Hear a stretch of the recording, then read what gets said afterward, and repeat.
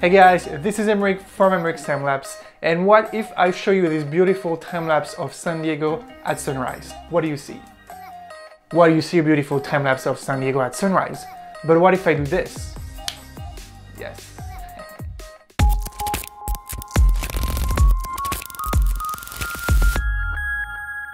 So sometimes you're shooting a beautiful time lapse at sunrise or at sunset and there is not one single cloud.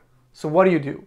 Well, either you can just leave it like this and sell the clip like this, or you can find another time lapse that you have and then mix the sky with your time lapse, with the current time lapse. So this is what I did for my San Diego sunrise. I went and take another time lapse of a sky fire at sunrise of LA. So the sky that you see in this time lapse is actually Los Angeles and not San Diego because the original time lapse of San Diego looked like this. And I think it was a little boring to have like a white sky like this. So why not just change the sky with another time lapse that I have, a sky fire like a real sky fire. And I'm gonna show you right now in After Effects and Premiere how to do it very easily. Let's go. Alright guys, this is After Effects. I'm gonna show you on After Effects first how to do it, then I'm gonna show you on Premiere Pro, which is pretty close, uh, pretty much the same thing. So I'm gonna go in my portfolio and select the clip I want to uh, add the clouds to, which is this one, this beautiful San Diego at sunrise. So you can see there is not a single cloud. There's a few, like there's some fog here, um, but yeah, see how wide the sky is?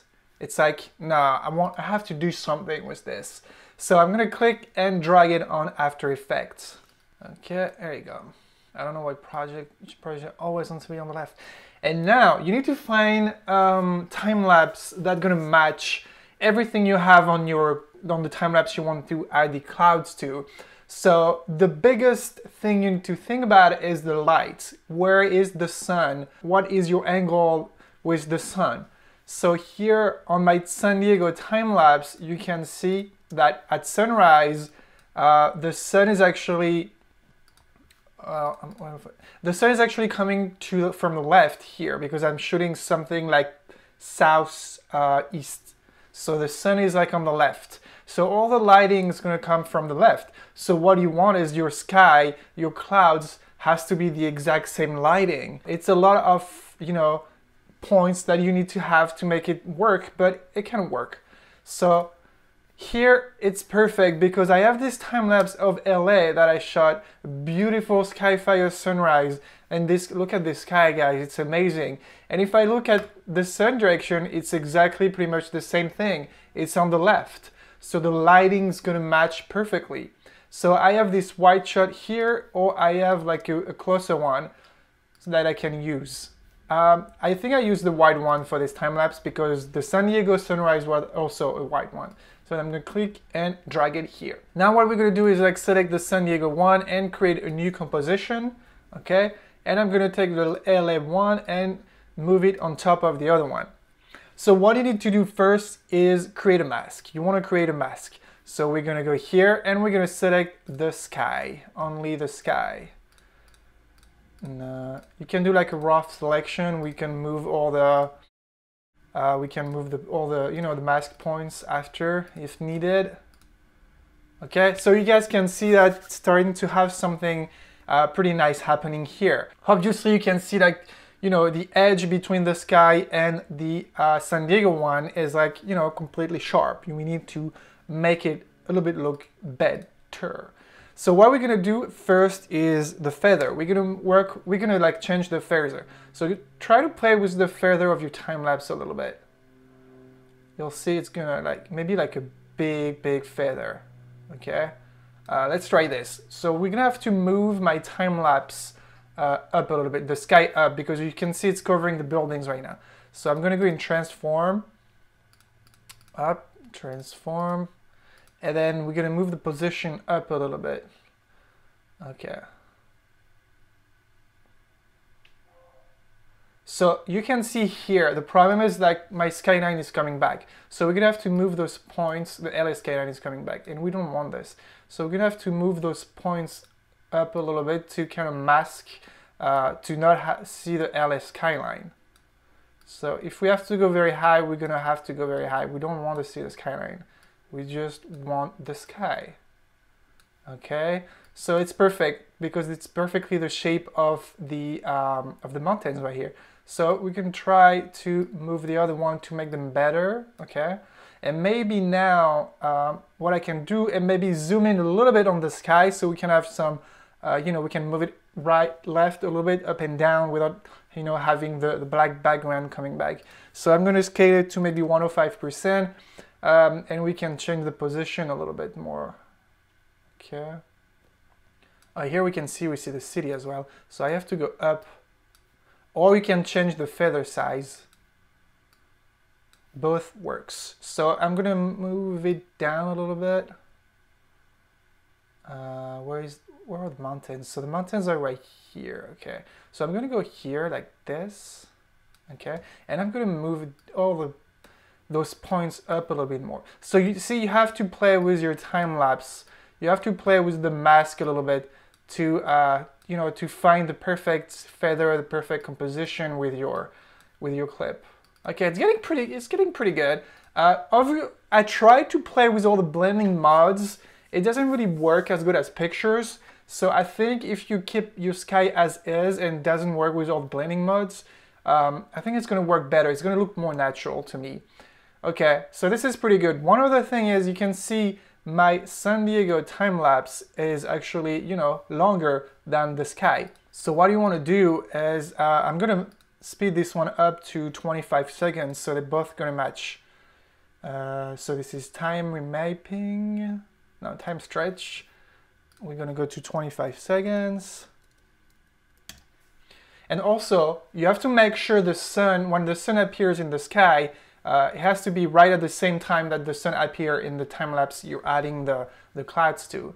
So for example, here it works also perfectly. You can see the sky starts to appear here. It's my, uh, this is the, the sun from the sky, um, from, the, from the clouds. And you can see the lights starting to get there as well on the San Diego time lapse. So this is a perfect match. It means I pretty much started to shoot the Skyfire LA sunrise and the San Diego sunrise at the same time. And so it, it works perfectly well on this one. But you can adjust, you know, one of those two to make the lights, uh, the light match on both, you know. So here you can see the, the sun. It's perfect. The sun appears right behind the mountains here, right there.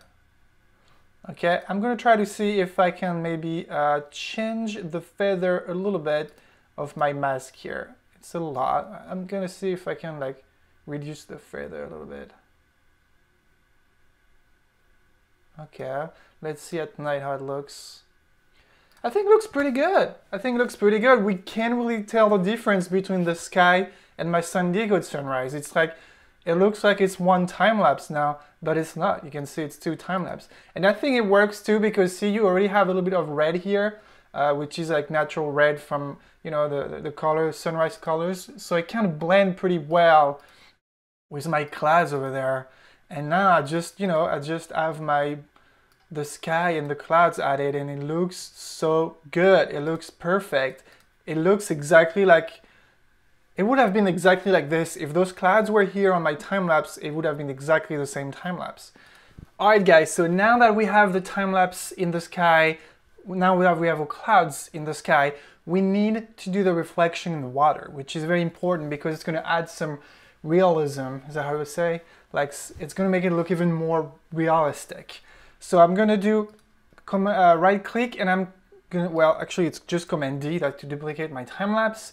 I'm to move it down. We're to go transform. We're to move the position down like a lot, like right here. And then we're to do like rotation 180 degrees up. So it's like a full 180 degrees rotation. All right, I'm to move it back up. Okay, so the water is right there. So what I want to do is like put right in the middle, somewhere right here. And we're to move the mask to make it closer to like see how the water is.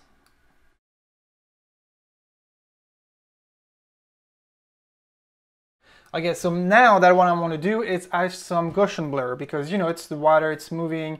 You might have some some blur on on the water. So we're gonna add a little bit, maybe like five or something, okay? And I think what works great is also to lower the opacity of of your of your mask on this one. Doesn't have to be a lot, but it can make a huge difference just with like 50%, for example, 40, 50%. See? It's like on the left, you have this red color. Um, what I'm gonna do also is maybe reduce the feather a little bit because I think it's too much for that. Maybe back to like 80 or something. You know, you understand how it works. It's to create something very realist, very realistic and uh, like water reflection. So it's blurry, it's just to have the colors a little bit in the sky. The colors of the sky in the water, because this is how it will be in real life. So see, you can see some red here and some blue because we have a really blue sky. So really make it even perfect. And if you go like during the, the, the day here, you can see, you can even see the clouds reflection now in the water. It's blurry, it's just a really, like, I think I'm just gonna down, lower down the opacity a little bit. There you go, 30% is pretty cool. But still add some, yeah, it looks, it looks way better like this. Uh, when I first did it, I was like, okay, there's something weird about it. And then yes, the reflection, I said, yeah, this is the reflection, there's something that doesn't work with it. So lower the opacity, uh, change your mask, and then you get something like this. And before and after, you can see that's Awesome. All right, guys, well, we are on Premiere right now. So I have my two clips in the project uh, window here. We're gonna do right click and then new sequence from clip. So my clip goes on the timeline right away.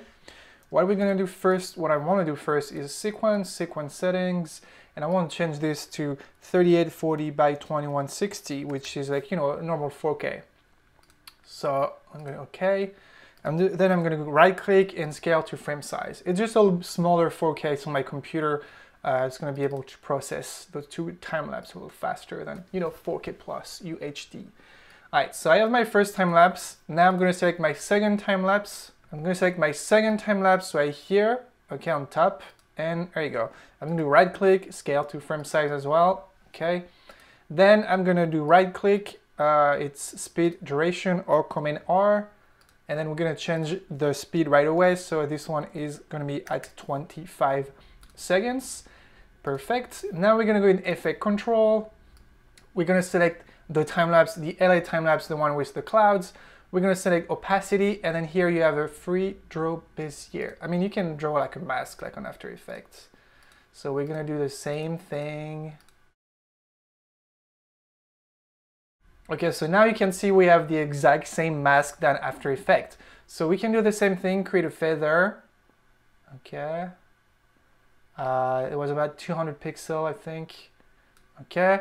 We're gonna move, we're gonna uh, scale it a little bit exactly like After Effects, 105. Okay, and we're gonna be able to change the position. Let's check.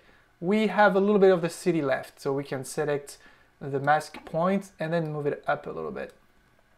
You can also, like After Effects, add some points if needed.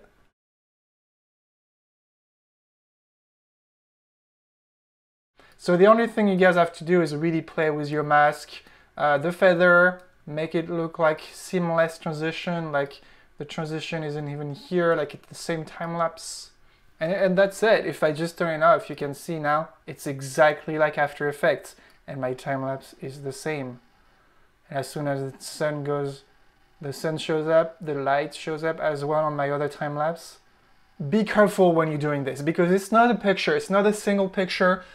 It's harder to get two time lapse to match with the lighting, the angle, the speed, everything. So make sure the time lapse gonna work. Uh, the two time lapse gonna work, you know, blended together like this one, like it's perfect. Just make sure the lighting is very important. Obviously, I don't, I don't want the light to come from the right on the clouds because it would have been weird. It doesn't work.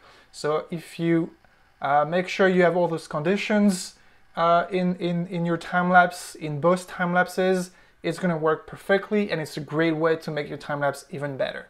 So this is it guys, this is how we do it with Premiere Pro. Um, I'm not going to do the mask with the water reflection because you understand how it works. Just duplicate the sky, uh, change 180 degrees rotation and then move the mask around a little bit, change the opacity, and it's exactly like After Effects. It's very easy to do. You know how it works now.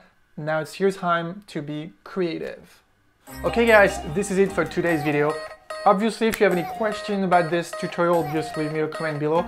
Don't forget to subscribe to my YouTube channel. I'm trying to reach 10,000 by the end of the year. I'm like 6,700 something right now.